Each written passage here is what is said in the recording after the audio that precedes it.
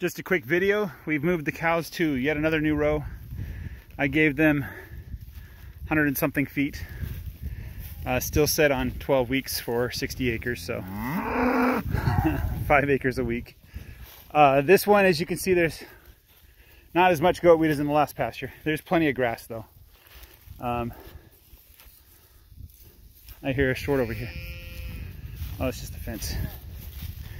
So,